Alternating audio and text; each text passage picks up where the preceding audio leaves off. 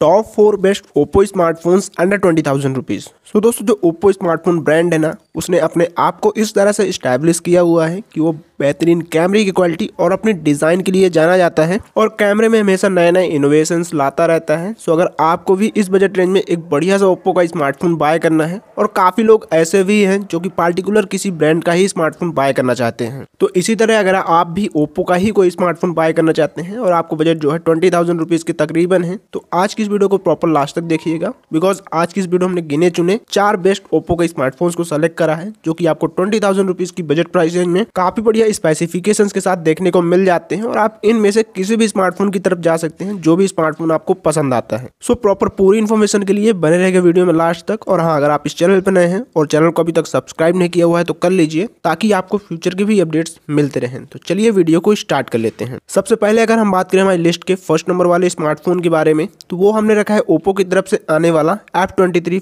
Smartphone जो कि आपको आराम से ट्वेंटी थाउज़ेंड की बजट प्राइस में देखने को मिल जाएगा। बट कभी कभी आपको यह स्मार्टफ़ोन ट्वेंटी थाउज़ेंड के ऊपर भी देखने को मिलता है। तो तब जाके आप इसे ऑफलाइन मार्केट में अगर बाय करेंगे तो ये स्मार्टफ़ोन आपको अंडर ट्वेंटी थाउज़ेंड देखने को मिल जाएगा। तो अगर डिटेल से बात करें इस स्मार्टफ़ोन के स्पेसिफिकेशन के बारे में तो यहाँ पर आपको परफॉर्मेंस के लिए क्वालकॉम स्नैपड्रैगन 695 का एक 2.2 point two clock octacore 5G processor मिल जाता है। जहाँ पर आपको एट जीबी रैम सपोर्ट के साथ टू हंड्रेड की इनबिल्ट मेमोरी देखने को मिल जाती है। सो परफॉर्मेंस के मामले में काफ़ी डिसेंट परफॉर्मेंस आपको ये निकाल कर देगा। बिकॉज़ आपको यहाँ पे प्रोसेसर बढ़िया देखने को मिल जाता है। बजट रेंज के अकॉर्डिंग इसके बाद अगर वहीं पे बात करें इस स्मार्टफ़ोन के बैटरी स्पेसिफिकेशंस के बारे में तो यहाँ पर आपको 5000 थाउज़ेंड की काफ़ी बड़ी बैटरी के साथ 67 वाट की सुपर वोक फास्ट चार्जिंग का सपोर्ट भी देखने को मिल जाता है। सो बैटरी परफॉर्मेंस भी काफ़ी बढ़िया है। इसके अलावा अगर बात कर लें इस स्मार्टफ़ोन के डिस्प्ले स्पेसिफिकेशंस के बारे में तो यहाँ पर आपको डिस्प्ले के तौर पर 6.72 इंचेस की एक आईपीएस एलसीडी पैनल देखने को मिल जाती है। जो कि 1080 टू 2400 पिक्सल्स की है,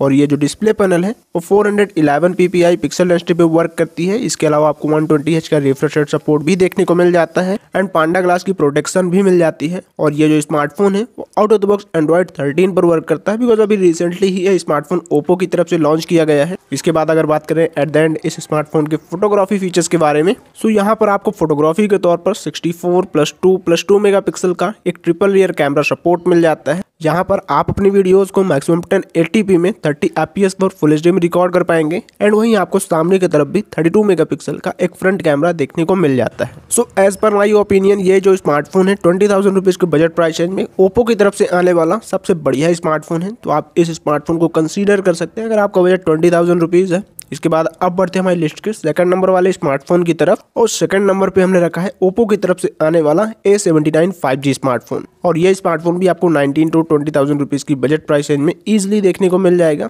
तो आप इस स्मार्टफ़ोन के साथ भी जा सकते हैं। इसके भी स्पेसिफिकेशन काफ़ी लाजवाब है और ये भी एक फाइव डिवाइस ही है। सो अगर डिटेल से बात करें हम इस स्मार्टफ़ोन के स्पेसिफिकेशन के बारे में तो यहाँ पर आपको परफॉर्मेंस के लिए मीडियाटेक डायमेंसिटी सिक्स का एक टू पॉइंट टू पे क्लॉक्ड ऑक्टोकोर फाइव प्रोसेसर मिल जाता है। यहाँ पर आपको एट जीबी रैम सपोर्ट के साथ one hundred twenty eight GB की इनबिल्ट मेमोरी देखने को मिल जाती है। एंड इसके अलावा भी आपको बैटरी के तौर पर भी फाइव थाउज़ेंड एमएच की एक बड़ी बैटरी के साथ थर्टी थ्री वाट का फास्ट चार्जिंग सपोर्ट देखने को मिल जाता है। सो आपको स्मार्टफ़ोन जो है लगभग एक घंटे में zero to hundred percent full charge हो जाएगा। इसके अलावा ये जो स्मार्टफ़ोन है, वो out of box Android thirteen पर वर्क करता है और ये भी अभी रिसेंटली ही लॉन्च करा गया है। एंड वहीं पे अगर बात करें इस स्मार्टफ़ोन के डिस्प्ले स्पेसिफिकेशन के बारे में तो यहाँ पर आपको डिस्प्ले के तौर पर six point seven two inches की एक एलसीडी पैनल देखने को मिल जाती है, जो कि 1080 टू 2400 पिक्सल्स की है। और ये जो डिस्प्ले पैनल है, वो 392 ppi पिक्सल डेंसिटी पे वर्क करती है। यहाँ पर भी आपको पांडा ग्लास की प्रोटेक्शन मिल जाती है एंड 90 हज का रिफ्रेश रेट सपोर्ट भी देखने को मिल जाता है। इसके अलावा अगर बात करें वहीं पे इस स्मार्टफ़ोन के फोटोग्राफी फीचर्स के बारे में तो यहाँ पर आपको 50 प्लस टू मेगा का एक डुअल लेयर कैमरा सपोर्ट मिल जाता है और आप यहाँ से मैक्सिमम टेन में अपनी वीडियोज़ को थर्टी एफ़ पर फुल एच में रिकॉर्ड कर पाएँगे।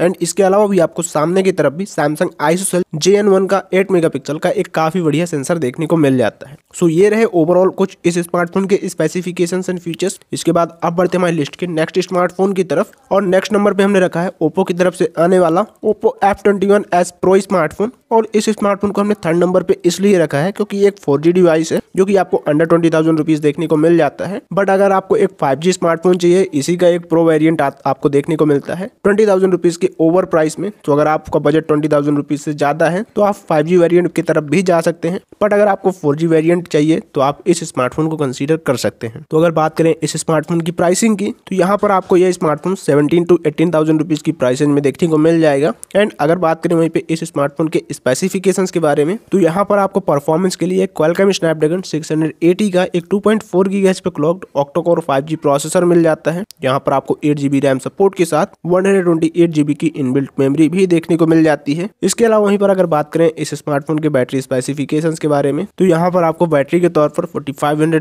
की एक बढ़िया बैटरी मिल जाती है, जो कि थर्टी वाट की फास्ट चार्जिंग को सपोर्ट करती है। इसके अलावा आपको डिस्प्ले के तौर पर भी 6.43 इंचेस की एक एमोलेड स्क्रीन देखने को मिल जाती है। जो कि 1080 टू 2400 पिक्सल्स की है, और ये जो डिस्प्ले पैनल है, वो 409 ppi पिक्सल डेंसिटी पे वर्क करती है एंड यहाँ पर आपको एमोलेड स्क्रीन देखने को मिलती है। सो जब भी आप इसमें कोई कंटेंट कंज्यूम करोगे, तब आपका एक्सपीरियंस काफ़ी बढ़िया रहेगा। इसके अलावा भी आपको यहाँ पे कॉर्निंग गोरिल्ला ग्लास की प्रोटेक्शन मिल जाती है एंड नाइनटी एच का रिफ्रेश रेट सपोर्ट भी आपको यहाँ पर देखने को मिल जाता है। सो ओवरऑल डिस्प्ले परफॉर्मेंस आपको यहाँ पे काफ़ी तगड़ी देखने को मिल जाती है। इसके बाद एट द एंड अगर वहीं पे बात करें, इस स्मार्टफ़ोन के फोटोग्राफी फीचर्स के बारे में तो यहाँ पर आपको 64 plus two plus two mega का एक काफ़ी बढ़िया ट्रिपल ईयर कैमरा सेटअप मिल जाता है और आप यहाँ से मैक्सिमम टेन एटी में अपने वीडियोज़ को इजिली रिकॉर्ड कर पाएँगे एंड वहीं आपको इसके अलावा भी 32 मेगापिक्सल का एक फ्रंट कैमरा भी देखने को मिल जाता है। सो ये तो रहे हमारी लिस्ट के थर्ड नंबर वाले स्मार्टफ़ोन के स्पेसिफिकेशन एंड फीचर्स इसके बाद अब बढ़ते हैं हमारी लिस्ट के फोर्थ एंड लास्ट स्मार्टफ़ोन की तरफ़।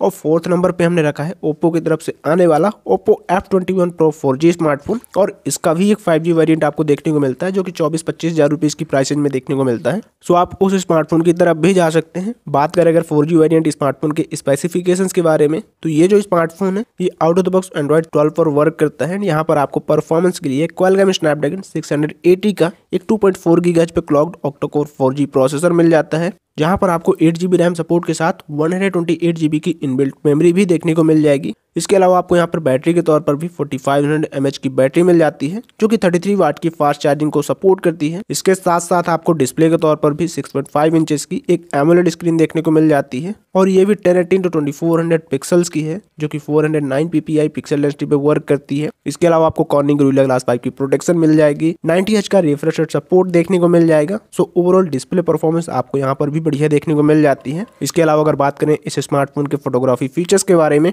तो यहाँ पर आपको sixty four plus two plus two mega का एक काफ़ी बढ़िया ट्रिपल ईयर कैमरा सपोर्ट मिल जाता है और आप यहाँ से मैक्सिमम टेन में अपनी वीडियोज़ को फुल एच में इजिली रिकॉर्ड कर पाएँगे एंड इसके अलावा भी आपको थर्टी टू का एक फ्रंट कैमरा मिल जाता है। सो ये रहे हमारी लिस्ट के फोर्थ नंबर वाले स्मार्टफ़ोन के स्पेसिफिकेशन एंड फीचर्स और ये रहे टॉप फोर ओप्पो स्मार्टफ़ोन जो कि आपको ट्वेंटी थाउज़ेंड की बजट प्राइस में देखने को मिल जाते हैं और इन चारों में से दो फाइव फ़ोन है और दो फोर फ़ोन है। सो जिस भी स्मार्टफ़ोन की तरफ़ आप जाना चाहते हैं, आप जा सकते हैं। मैं तो रिकमेंड करूँगा कि आप फाइव स्मार्टफ़ोन ही बाय करिए बिकॉज़ अभी के time five G all over India में लगभग आ चुका है। तो आप फाइव जी स्मार्टफ़ोन बाय करेंगे तो आपको जल्दी स्मार्टफ़ोन चेंज नहीं करना पड़ेगा। So that's it for today's guys I hope कि आपको इस वीडियो को देखने के बाद काफ़ी कुछ सीखने को मिला होगा, और ये वीडियो आपके लिए काफ़ी ज़्यादा इन्फॉर्मेटिव रही होगी। सो अगर आपको इस वीडियो से कुछ भी सीखने को मिला हो तो इस वीडियो को सिंपली कर दीजिएगा लाइक और चैनल कर दीजिएगा सब्सक्राइब तो इस वीडियो में इतना ही। मिलते हैं अगले नए टेस्टिंग वीडियो में। तो तब तक के लिए राधे राधे।